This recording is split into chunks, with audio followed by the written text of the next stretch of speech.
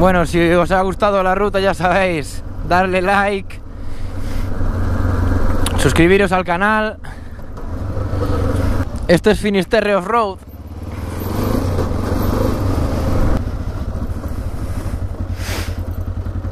Y con esta puesta de sol nos despedimos.